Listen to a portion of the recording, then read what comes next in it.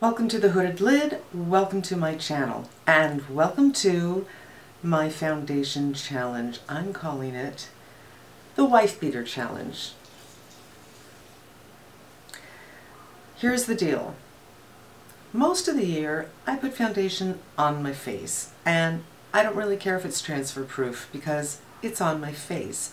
But in the summer I'm putting on dresses and my little faux tube top and I want to get rid of this redness. I want the redness to calm down a little bit, to chill out a little bit and have my face, this face, and my chest relate to each other a little bit.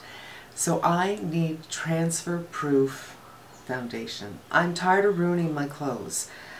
And I've seen a lot of people on YouTube, you know, do the spray tan and they bring the foundation down their neck and on their chest and they never ever talk about, hey, I'm ruining my clothes. And you know they are.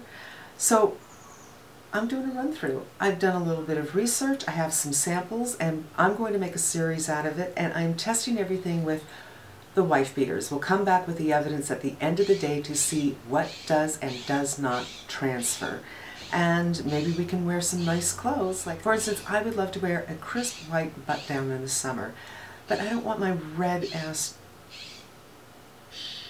but I don't want my red chest peeking through. I, I want some normalcy over here. Maybe I can find a foundation that won't transfer.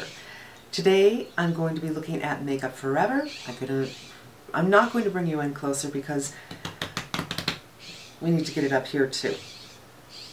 So let's go. So this is Makeup Forever HD in color R30. I can't believe that I have never tried a Makeup Forever um, foundation before. And I think that's because they have such a huge selection. It kind of is overwhelming to me. Um, It's been mentioned to me before. A professional makeup artist told me I should check it out since my skin tone is kind of odd. And um, I never did. You know, a couple of times I'd go over there and look at them and like, ugh, it's too much. It's uh, too, it's too overwhelming. Now I have tried this before, so I don't have a whole lot left in this sample. But let's just get this on. I prefer to use my fingers, and if I need to, I'll go in with the Beauty Blender. And I am already sunscreened. I have to say, I feel this color is pretty nice for me. Right off the bat, I mean, this is not a new foundation to the makeup world. It's a new foundation to me. And it's quite silicone -y. Here we go. Gonna go to the chest.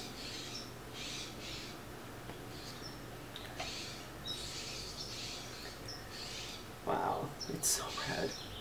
So red.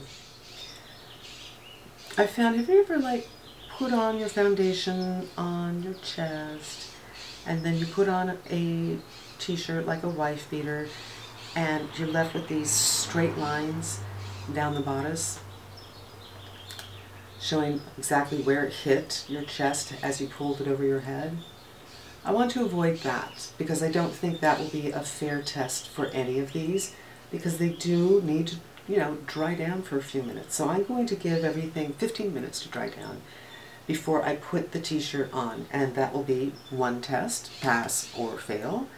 Then at the end of the day, we're going to see how the t-shirt has fared both on the inside and on the outside because if it only stains a little on the inside but you can't see it from the outside that means the shirt's not ruined and it can be worn again.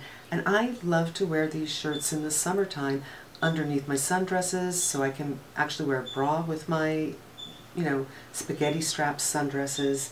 But I also like them because they protect my clothes. So protecting my clothes from sweat a little bit and from foundation a little bit but I prefer not to have a foundation concern all right, here's what we got. It's not gone, you know, it's still there, but it's toned down. I think I'm going to add a little bit more. All right, so here's the overall look.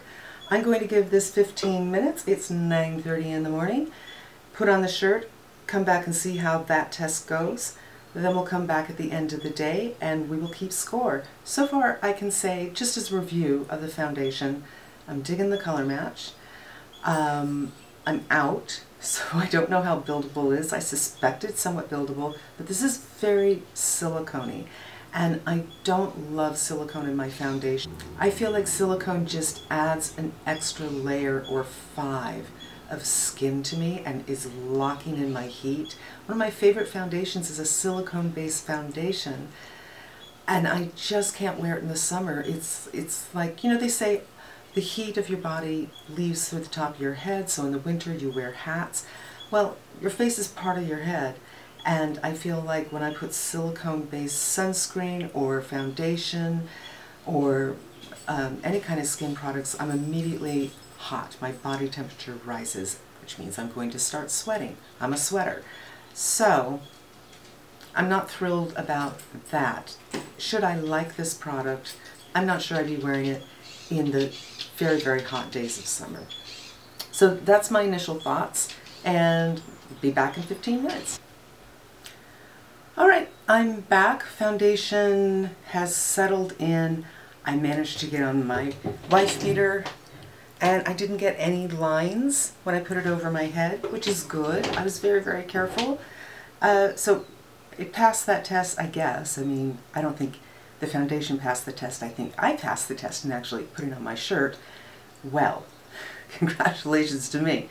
So, um, just a side note, I'm, I'm looking at this formula to see if it is really transfer proof. But if you're like me and really have a hard time with foundation colors, this is so interesting to me because I feel like my face, my chest, my arms are relating to each other and I like that very much.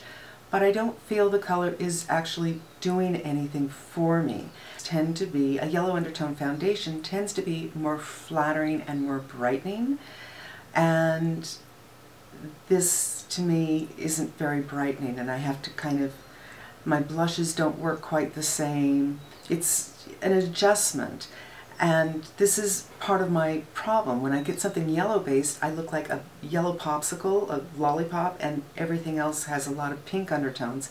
But I am actually yellow undertoned. It's just that it's very slight. And most foundations, when they're yellow undertones, they're really a lot of yellow and sometimes even golden and I end up looking orange. So this is my personal real struggle in life is finding good colors. But for now, what we're really talking about is will this transfer? Is this clothing safe? Can I get a button-down, crisp white shirt into my wardrobe in the summer like a normal person can without looking like I got third degree burns on my chest? That's really what it's all about. I'll be back later on today to show you what happens when I take the shirt off. I am back with the results of the Makeup Forever Wife Beater Wednesday t-shirt test. And outside collar is clear, which means I can wear this again. So that's a pass in that category. The inside, there is some transfer, but it's really not a huge amount of transfer. Now this doesn't mean I can go ahead with a, a cotton button down. Doesn't mean I can go ahead with a silk shirt. But it might be something I come back to and try with powder on the chest and see if that helps to get to a no transfer place. It's progress. It's, you know, my first test, but I'm kind of pleased. Fingers crossed. And that wraps it up for Wife Beater Wednesday Makeup Forever HD. Thank you so much for coming. I hope it was helpful. I hope you might have learned something. I hope you might have had a little fun, and I hope you come back. Until then, I'm wishing you a great day.